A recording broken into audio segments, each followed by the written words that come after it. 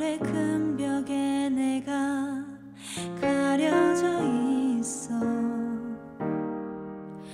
널 위해 준비한 나의 사랑은 어제와 다른 오늘로 지워져 가.